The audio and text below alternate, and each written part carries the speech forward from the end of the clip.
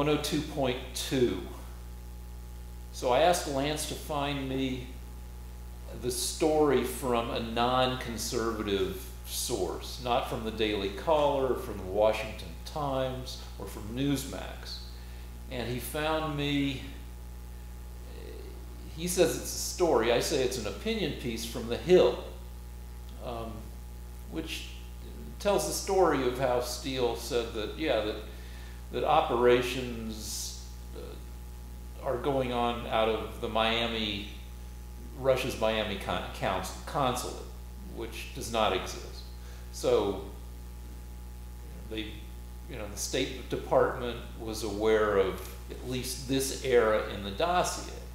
And I, I'll grant you the possibility that at, at some points in the process of, of the, the veracity of all of the dossier may have been overstated by some people maybe even some people in the FBI. But your general argument is that because some of the dossier turns out to not be um, correct, that the whole thing is BS. And I've never claimed that the whole thing is correct, and I don't think that the author or anybody um, claims that the whole thing is correct. In fact, the Rick, Rick, what part is correct? I know the parts that the Mueller reports say have been verified. And what parts are those, Rick? I don't know. I, but the thing I read yes last week to the camera says that parts have been verified. What parts are those, Rick? I don't know. Do you know? No, no because uh, I actually did read the dossier, and the only parts that are possibly verifiable are the ones where they just speculate that Putin has an interest in uh, Turkish politics and things like that. So, I mean, the words and and the are verifiable, but the the anything about Trump having uh, uh, being compromised by the Russians has not been verified.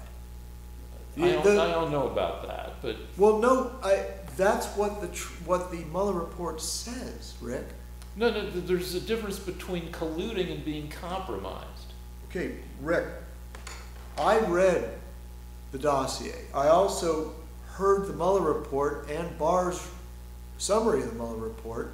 Well, they, all, they all say the same thing no, that Trump didn't collude with Russia. The only person in America that still believes in the dossier is you. No, no, but and I'm not saying. Tell, tell me what in the dossier is true. I, if you want to break yeah, again. Yeah, let's break. I want you all to right. find the true all things. Right, all right, all right, okay, okay. Here we go. Break time, break time. All right. All right, I found a long Washington Post article from April that lists all. We're, we're in May, by the way, so yeah. it's, it's recent. Yeah, um, that lists uh, where the Mueller report has been verified or not verified, and a, a bunch of stuff the report contained a bunch of stuff about Russia's efforts to mess with the campaign. And that's the stuff that's been verified. Everybody now agrees that Russia attempted to meddle with the campaign. Trump's, and what it, it, Trump, the, the deal with Trump is that what most people believe is that he wasn't actively uh, colluding with Russia and that he was just kind of uh, sloppily opportunistic with taking advantage of some of the stuff that was going on with Russia. And it doesn't rise to the level of um, collusion or conspiracy. You, you, it does. Are, I mean, you, are you finished? Well, so almost. Um, and the sensational stuff about Trump, like the, the P tape, has there's no evidence of that. But it, it, so the stuff that's been verified from the dossier is the stuff that everybody agrees is true. That Russia was very actively trying to mess with the election in favor of Trump. No. No. And and and that's not even in the dossier. But apparently it is, because if you read that whole Washington Post article, it, it is, that that's the, They- the, much of the dossier isn't about Trump That's- but that's- specifically, but that's is not- specific. That hasn't been verified. That, that, there Well, you're no- still gonna argue that Russia was innocent No? Russia messed with the election, but they, the, what the intelligence panels found was that they basically were doing things just to sow discord. They spent about a hundred thousand dollars on Facebook ads, and that's about it. They, uh, they hacked the DNC, they, um, they nobody knows for sure what they thought. But um, it looks like they thought Clinton was going to get elected, and they were just releasing things to embarrass Clinton. Okay, all right, so, but So, anyway, but you, but but it, that you have not shown me any place where the dossier was proven to be true. you know, that whole article lists where it's been proven. Yeah, I know. I read the article, and it's. No, you read about a it- it- third of the article. No, actually, well, okay. But the deal The is art- that you the article obfuscates. The, the article does not say where Trump colluded with the Russians. but that's not the That's, entirety. but that's, but that's what the memo, that's what the dossier said. No, the, the, the, the, the entirety of the dossier isn't about Trump. M- much of it is about what Russia was up to. Then why do you? You keep- asked, but Then why do you? no, keep- hold on, hold on. Before we broke, you asked me to to show you what has been verified about the dossier. I Right. found this article that goes point by point through the dossier and says this has been verified, this hasn't been verified. Most of what's been verified is about what Russia. I mean, whether it was now we can argue about whether it was specifically to help Trump or whether it was just to create so discord in America. But most of what's been verified, according to this article about the dossier, has to do with Russia trying to fuck with the election. Yeah, but, but nobody's arguing about that. Yeah, but you did. You're arguing that the dossier had show me what's verified. So I showed you what's verified, Yeah, but- that's about Russia. All right, listen to me, Rick. Every time I say that the dossier was used by the FBI to justify so that the Obama administration could uh, surveil the Trump team and and put spies in the Trump campaign, you say, "Oh, but the dossier was verified. It's all it's true." I'm, And, saying and parts, of it are true. Yeah, parts, but the parts, but the, parts, parts. but then, but then, if the, but, but the parts that you claim are true right now would not justify putting a spy on Trump. Maybe so. Maybe your investigations will bear fruit and it'll no, no, turn but, out. but but you you've just told me, just now, just within three minutes, you told me that the parts of the of the dossier that that are true have nothing to do with Trump. So why would the Obama administration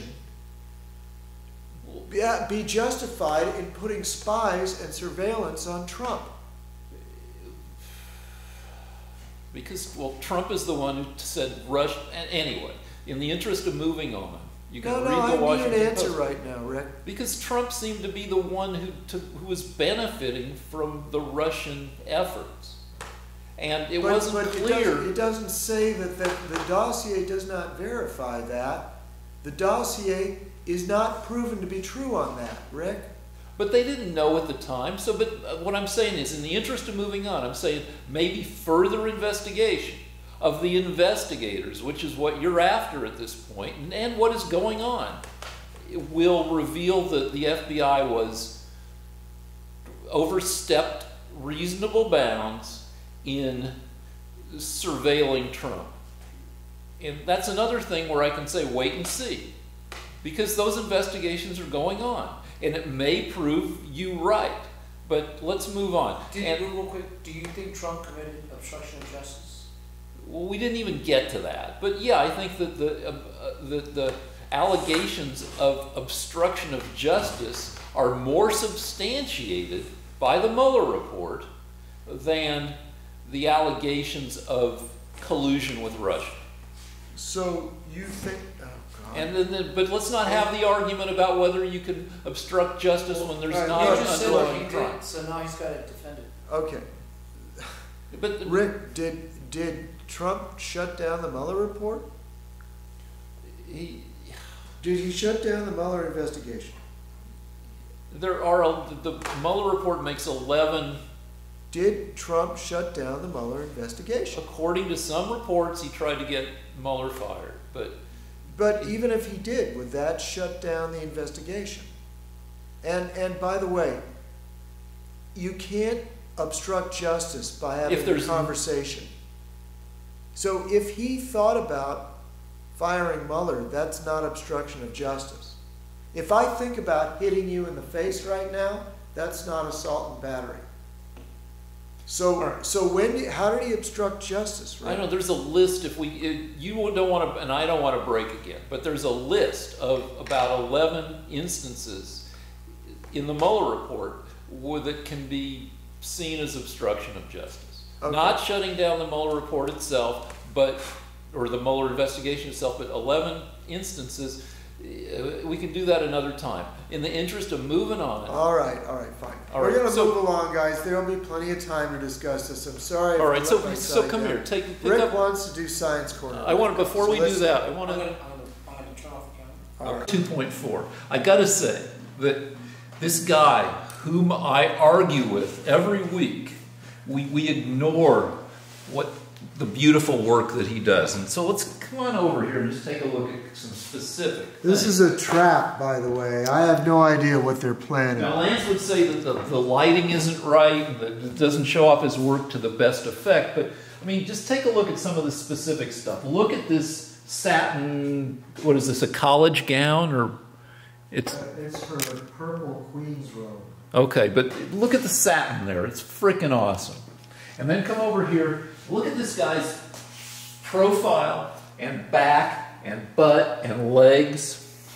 It's freaking, here, Hold shoot on, it, you know- shoot it straight on, so you don't get, you know, Uh, foreshortened. One second, okay. Okay. And then take a look at this hand painted panel from a Superman. Okay, start again. Take a look at this hand painted panel from this Superman comic. That's painted. And then just travel up, show the guy. Uh, one What's his name? Uh, that was Robert? This is Robert. Lance frickin' painted him, what, 25 years ago? Yeah, I was just a kid back then. Yeah. Okay, so And then- point look- the things out again because I Look I- at his go up his leg to his butt to his to his back to his profile. It's just freaking great work. Thank you. I s- I- This is, this is some kind of trick. Yeah. And then look, what's this guy's name with the purple hat? That's Earl. Look at Earl. We got two shots of Earl. Earl Earl one, and then if you come over here, here's another shot of frickin' Earl. Okay, where are Have we? we done this already? No, we really haven't, because you're reluctant to, because not everything is. This is imperfect lighting. This is imperfect shooting, because you like things only seen from, you know, the the, the, the best possible perspective. All right, all right. You know. Thank you very much. All right, so now we can go to Wait, science. you said something about her earlier. Well, I just her robe, I think, because we don't want to show too much, you know, sexy parts, because this is an educational show. By the way, that's Lance's dad's actual Oscar picture. Yeah. All right. So now we can go on to Science Corner. Okay. All right. You can show the sculpture. You showed that sculpture. Yeah, I just wanted to avoid showing the uh, the wiener part because we don't need to show. Look at this frickin' this. Why, why don't you want to show the wiener? I mean, Because that's no, part of because the this is work. an educational show, not a show wiener show. But I mean, Lance, would you argue with that? I mean, would, Well, I mean, the David has a wiener. I mean, it's Yeah, but they, you know, they covered up David's is- wiener for sure. is this centuries. coming from a liberal? Oh my God! Yeah, The conservative is you arguing know, the look at the, liberal but look at this, you know, the back, the musculature there. Actually, show him with the thigh in front of the wiener so you can show the sculpture. All right, look at the, you know, this whole, it, it's all frickin'. we got to see the wiener. Come on. No wiener, no wiener. There's that's Come on. You, no, no wiener, no wiener. Last, do we show the wiener? All right. I, I don't care. All right. It's- it's There, not- did, if you, did you, all right, let's go, oh, here we, all right. Look at it as a wiener. All All right. right, let's do science. corner. All right, science corner. All right. Okay, I turned off the camera. Okay. All right. No, I just, uh, I, I would have been done with it a lot faster, but it's hard to keep Rick in the post. So uh, I'm still working on uh, the details. So let's go to go to science corner, okay? All right, we, all right, 102.5, Science Corner. All right, when they, f- I'm waiting for the robotic uh, surgeon, the, the surgery robot at UCLA. So I've still got 24 more days till they take the tumor out of me. When they discovered it, when they first measured it about eight weeks ago, it was 3.5 centimeters, a little bigger than an eyeball. I've been doing homemade chemo on it, and it's now 3.1 centimeters, a little more than 10% smaller, though that's not for sure because tumors are squishy, and because, you know, it's not like they have cut me open yet to see it firsthand. They're using ultrasound and they're using an MRI to measure it. But it's still, it, it's apparently more than 10% smaller in diameter, which means it's more than 25% smaller by volume. Uh, I've got a tumor in my kidney. So, you know, it's so apparently the stuff I've been giving myself, fisetin, is killing the tumor a little bit. Or I'm optimistic that it is. Um, and that's good news in that for a couple reasons. One is that it, it, it, the only thing that the fisetin does is um, give me diarrhea, which I can live with. I can have diarrhea every day, and it's not the worst thing in the world. Um, except that the bleeding that goes with the diarrhea is bad, and I've got half the hemoglobin of a normal man, which they have to fix. And so I talked to my blood doctor, and I said, Well, when you fix my blood with iron in, infusions, will my brain work better? And he said, Yeah, so fucking watch out, Lance, because my brain's about to be good again. I wasn't paying attention. I'm severely anemic from all the pooping. Oh. And I've got half the amount of hemoglobin I should have. And the doctor says, Ask me questions, ask me questions. And one of the questions was, Will my brain work better when we get my hemoglobin back up? And he said, Oh, yeah. So, for the first time in the history of the show, I, I, I won't be fighting with half my brain tied behind my back. Jesus. Uh, so anyway, the fisetin seems to uh, be slowly killing the tumor. And now I've got a new recipe because I read, did some more research and it turns out I've been stirring the fisetin into water where it's not very soluble. Turns out if you stir the fisetin into lipids, the lipids surround the fisetin and it's much more soluble in fat, especially special fats that have a molecular structure that surrounds of the, the target molecules and super soluble in this fat. And now when I take this stuff, you know, the, the diarrhea would hit me three hours after I took it dissolved in water. Dissolved in lipids, according to the papers I read, it might be four times as effective and it might have 47 times the bioavailability and I know something's happening because now I don't get hit with the, the, the, diarrhea is, is knocked down in severity, severity, and it doesn't hit me until instead it hits me. It, it takes three times as long to hit me. So uh, the new formulation of this stuff might be even more killy of the tumor. And the deal is that nobody's very worried about the tumor, except for me. I mean, the doctors are, because they see the statistics that this kind of thing only has like a, a, a between a 3 and a 7% recurrence rate. Um, so they think when you, they take, that most people, when you pull out a tumor this size, that you're done and just live your life and whatever. But, and there is chemo that's not very effective that they can give people who are being killed by their, their kidney tumors, where it's metastasized or it's much bigger and it's just a more, you know, it's in a much more dire state. But they wouldn't give me chemo uh, with my 3 to 7% risk of recurrence because chemo can cost eight to ten thousand dollars a month, and the, the Republicans talked, and chemo fucks you up. You know, it makes you really sick. So that, you know, the one of the more popular chemos for kidney stuff, it's it's like four weeks on, two weeks off. You go on four weeks, and then you take two weeks to recover from the, the damage that the kid the, the, the awfulness of the chemo. Um, also, um, it's just no insurance company would okay something that costs a hundred grand to knock down the risk of recurrence from like five percent to two percent. You know, that's you know the, the the insurance company would expect you to take your chances with that, you know, that that very low probability of recurrence.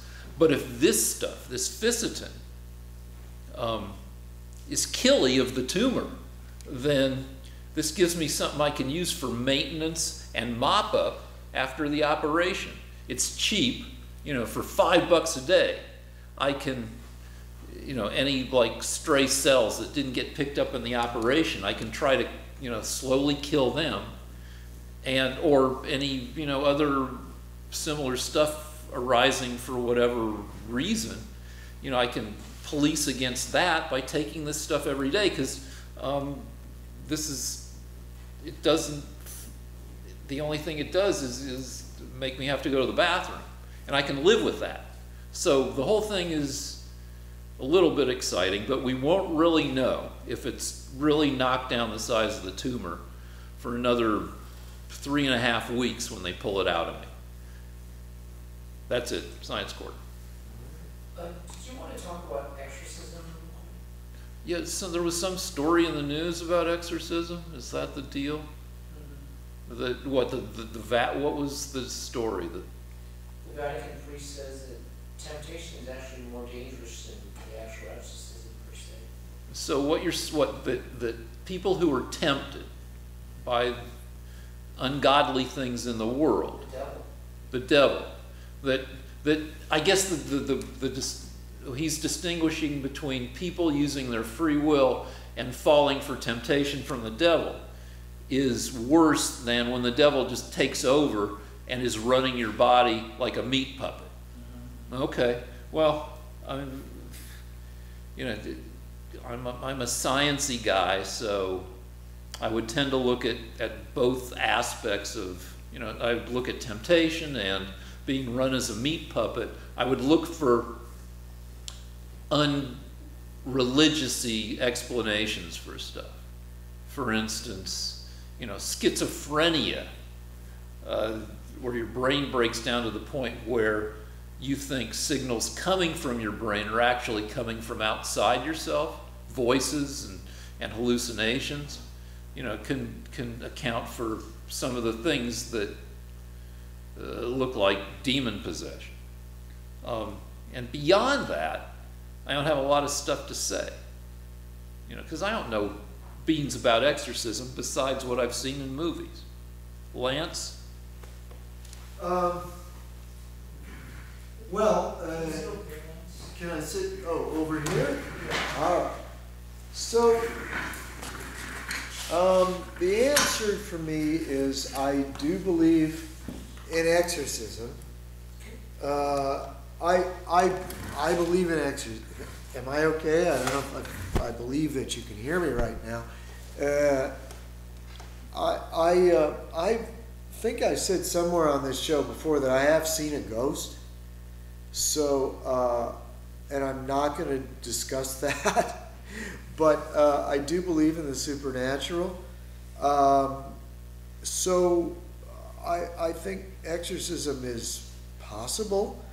Um, but uh, what the what the priest was saying was that temptation was a worse problem. Uh, than the devil making you do things. And my suspicion is that I, I, I firmly believe that nobody does anything unless they feel justified in doing it. So um, when they, when they, and I, I learned that when I was very young, uh, and it's always proven to be true. In that, Even the, when you do that- something bad, you're like, well, I'm just a weak person and that. Yeah, there's always an excuse, and and and I find that criminals have this. In other words, there are there are um, they've analyzed criminals' mentality, and they feel they they say they lie to themselves. They they tell themselves a reason why what they're doing is okay, and and I am not a psychiatrist. I haven't read any studies, but I, I heard this and it, it's always proven true. And I see it in myself too. That I have to be very careful to avoid justifying doing the wrong thing. Uh, and and like for example, even when a when a criminal harms you, he feels like he has a right to do it. Can I say? So wait, so I just want to tie that in with temptation. But let me, can I, let me say think- one thing I about you. I'm gonna think- I compliment don't- you. I, well, wait until I'm done. That's the kind, I don't think temptation is the issue. I don't think people are tempted to do something that they know is wrong. I think they know it's, uh, they think it's justified, and that's why they do it. So I don't think temptation, in other words, if, if all that was happening was people were getting irresistible urges to harm other people, that would be a matter of temptation. But I think it's more complex than that. All right, what were you going to say? I, I, I think that you're very good at exercising willpower and fighting temptation. You, I mean, I, I'll, there's some, among others, I mean, you go to work for ten hours a day, six, seven days a week. Yeah. You, I, you know, I sit at home and I'm, I'm constantly distracted by the riches of the internet. You, you show incredible dedication. And so your, the, the theological structure that you, you've built for yourself, I think is, has been good at, you're, you don't, you're not weak in terms of willpower. Well, you know, I will say this though. Uh, as you see, you you own a home, you have a successful marriage and a successful child, and you've also uh, had a great success in your career. Um, you didn't accomplish the things that you wanted to in every field, but my problem is I don't feel I've accomplished much in my chosen field, and I don't have a home and a wife and kids. So for me, the situation is far more desperate. I have a lot more to prove. Uh, well, not just to prove, but just to accomplish, to justify uh, my existence. Nevertheless, if, even if you lived in a beautiful home on the hill in, in Malibu, you'd still be working in your studio. almost- Yeah, yeah, that's true. But but the part of the reason is that there is so much to accomplish. I, I was just saying the other day to my friend that I, I don't have time to die. I can't die. I have too much to do.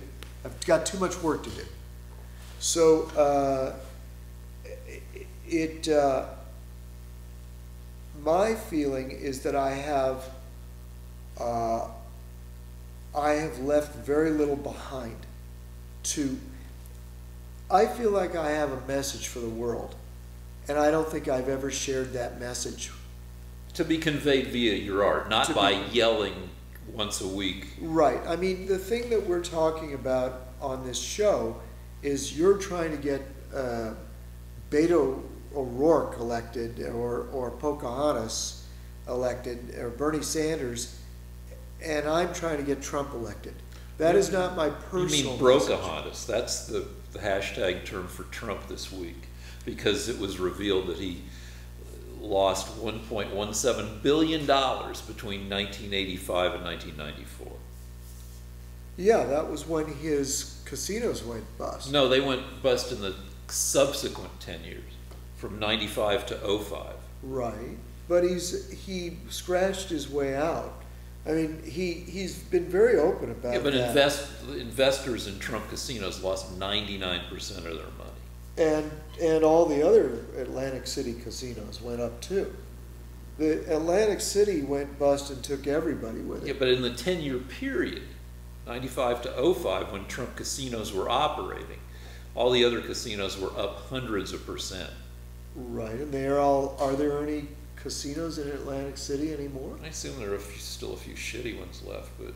yeah, So not- that, I mean, the, the great revelation. He was, he was losing a buttload of money when everybody else was making a buttload of money. Well, I mean, there, there are two issues there. Uh, the first is that the New York Times made a big deal about having discovered this about No, it, a lot of it was known. well, it was maybe even all known because because he's done a series of. Uh, uh, I think there was a book, and uh, the first uh, the first show of The Apprentice, he announced that he considers one of his greatest achievements to be that he went bust and that he scratched his way back and is now a multi-billionaire.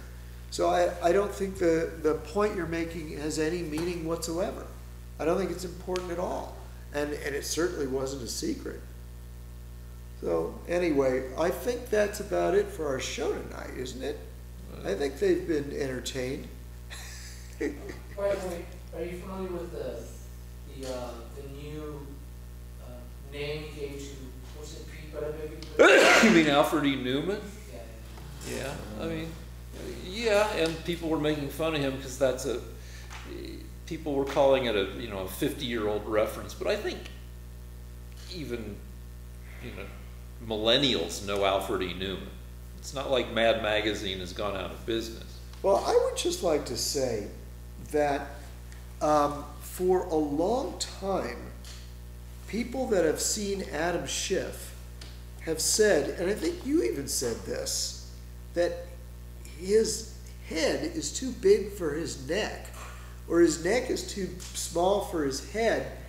And, Basically, and- it looks wait, like he's got a skinny neck. And then, and then Trump If he were a lady, he would wear pearls like Barbara Billingsley did on Leave It to Beaver because she was self-conscious about her skinny neck. And and and our president, who is a, not only a brilliant president but a, a master of of of uh, metaphor, has actually given him the name Pencil Neck. And I thought, wow, Trump sees the same thing. He sees the truth. He just has the courage to speak it. I don't know. I'm- I'd rather have Adam Schiff's neck than Trump's neck. Um, How do you feel about? And and you don't you can have a skinny neck and be an effective politician. I don't know why Schiff has a skinny neck. I know why I don't have a particularly skinny neck because I used to go to the gym every day, and this other guy and I would work each other's neck. He'd, I'd lie down on a bench, and he'd take a towel and he'd push on my head, and I'd push back, and then I'd turn 90 degrees, and he'd push on the side of my head. I And I I think your neck. I don't know. I, I it feels it feels kind of one liberal to go. All right, thank Real you. real quick though, how do you feel about Trump taking charge of the Fourth of July celebration? Oh, he's, he's gonna take over the, the National Mall and the Lincoln Memorial and give a speech on July fourth before there are fireworks. I don't know, it just seems Trumpy and, and, you know, frickin', I, do we have, there's just so much stuff goes on with regard to Trump and the, I don't know, I get, we have Trump, I have Trump fatigue. But I mean, you know, other people didn't. I mean, if it would be very exciting if if he's giving a speech in front of the Lincoln Memorial and and you know, 22 foot marble Lincoln stands up and you know thwack gets out of his chair and walks over to Trump and thwacks him in the head with his big marble hand. But short of that, you know, it's just another Trumpy thing. All right, well, I'm, I'm, I'm glad that we can wrap this up, but without Rick saying anything about North Korea coming back at us again. So, thank you very much for a wonderful show, and, uh, I guess Trump didn't solve the Korea situation just yet. Shall we wrap it up? Thank Yeah, you. Yes, Give us thank money. you. Yeah. All right, good, good.